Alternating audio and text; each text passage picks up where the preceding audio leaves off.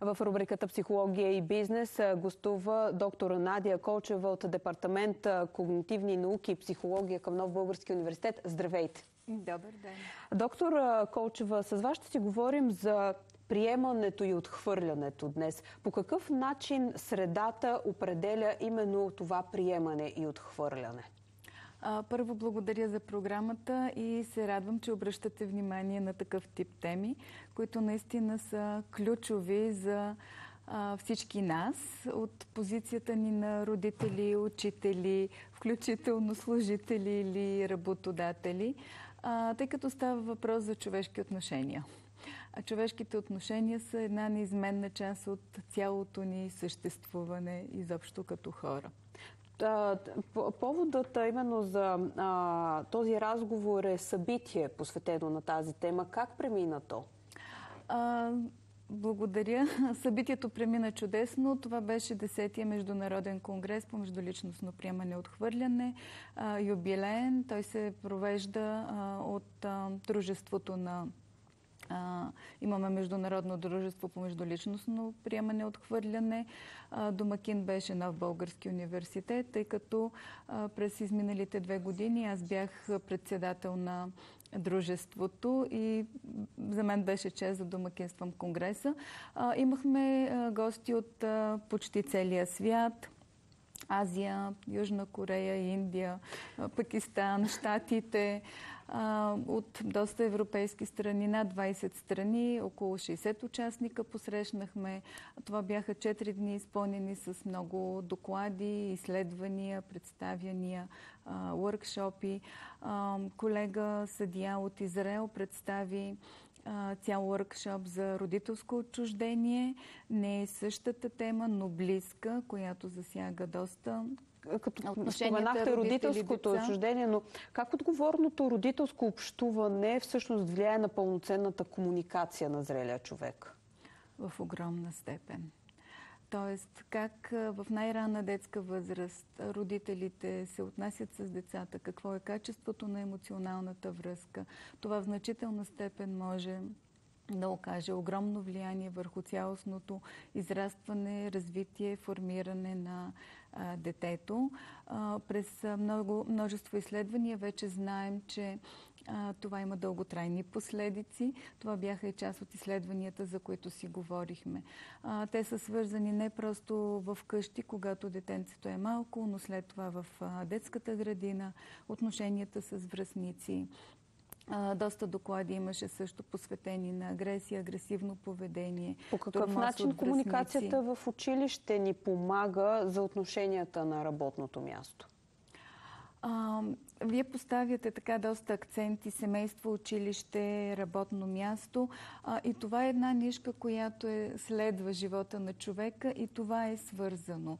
Тоест отношенията, които имаме в детска възраст, а, ние ги пренасяме след това в яслата, градината.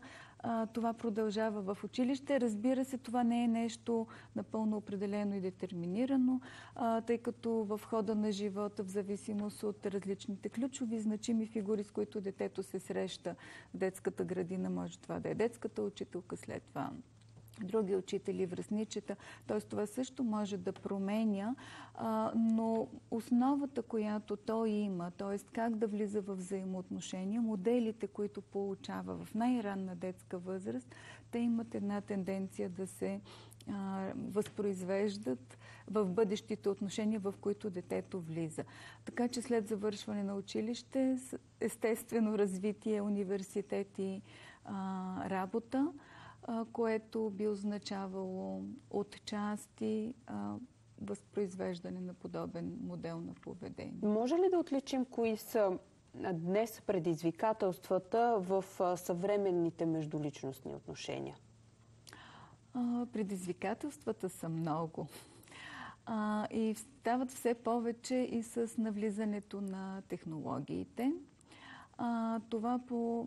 Ние психолозите го отчитаме и през психологичните изследвания, които правим още в ранна детска възраст, а, тъй като повече гледане на телевизия, а, стоене на таблетче или телефонче оказва влияние а, върху цялостното развитие на детето, в частност на езиковото му развитие.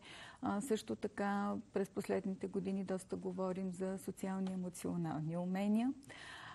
Отчитаме също спад в развитието и на тези умения при децата. Децата все повече прекарват време сами на устройство, отколкото в игра с връзници, което доста ограничава времето им, в което да упражняват тези си умения с други деца. По какъв начин дигитализацията, защото несъмнено това е пътят към който вървим и средата, в която в момента растат децата, се отразява на отношенията? А, средата в какъв смисъл? Тъй като средата е много общо понятие. Т.е. може да имаме семейството и семейната среда, може да имаме детската градина или училището като среда. Връзниците също са а, ключов фактор като среда? Ами, дигитализацията е несъмнено част от израстването, както и в училище, така и в семействата. Тя е във всеки един аспект на нашия живот вече. Това отразява ли се на отношенията? А, със сигурност се отразява на отношенията, а, но тук има и нещо друго ключово, което трябва да споменем. А, разбира се, технологиите, развитието на технологиите е нещо, което е което ни съпътства. Т.е. ние няма да се върнем назад.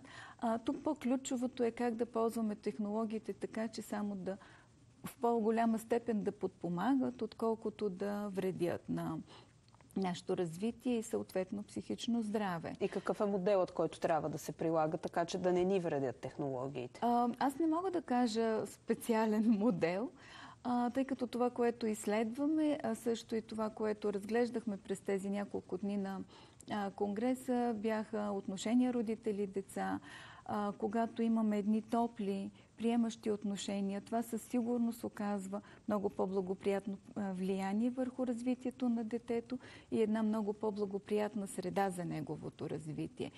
Подобно в училище, когато имаме една сигурна среда, последните години говорим и за безопасност, но тази безопасност не е само физическа, тя би следвало да бъде и психична, т.е. една сигурност, едно спокойствие на децата. А, това също е среда, която благоприятства това развитие. А, така че, т.е. когато говорим за среда, т.е. значими фигури, които биха осигурили доверие, които биха осигурили, осигурили сигурност, спокойствие, така че това да е оптимално за развитието на децата.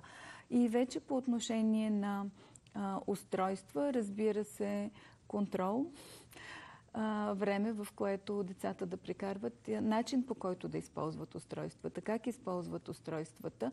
А, не случайно последните години говорим доста и за зависимост от а, използването. Има ли изследвания по какъв начин изкуственият интелект променя комуникационната среда? А, поне аз до този момент не съм се запознавала с а, такива изследвания. А, със сигурност ще предстои да проучваме а, все още влиянията на изкуствения интелект, тъй като това е нещо, което е съвсем ново. Може ли изкуственият интелект да помогне при емоционалните дефицити? А, със сигурност нещо, което знаем от изследвания до този момент е, че а, социалните и емоционални умения, това, което е свързано с нашата човешка природа, се изграждат с друго човешко същество. А, така че живото общуване, а, желателно не през устройство, а, е незаменимо. По какъв начин обаче пък а, именно а, дигиталните времена, които са това, че на работното си място комуникираме с повече с имейли в платформи, се отразяват на професионалното общуване? А, платформите, телефоните, които са неизменна част от нашето ежедневие, са средство за комуникация. Но всеки един от нас влиза в а, тази комуникация със своите умения, които има. Социални и емоционални умения за общуване. А, така че въпреки дигитализацията, ние имаме нужда да развиваме тези си умения, които са напълно човешки. По какъв начин платформи за изграждане на връзки между хората представляват някакви предизвикателства или по-скоро има ползи от тях? Да, със сигурност тези платформи са много полезни. А, нали, говоря, също има доста професионални платформи за определен тип професии, за изследователи също. А, така че това е, има доста предимства, т.е. ти можеш съвсем спокойно да се свържиш и то много бързо и лесно с а, хора, които са буквално на другия край на света. А, но пак казвам, а, тази връзка и тази комуникация тече през а, уменията, които всеки един от нас има. Много ви благодаря за този разговор. Благодаря. Доктор Надя Колчева от Департамента Когнитивни науки и психология към Нов Български университет.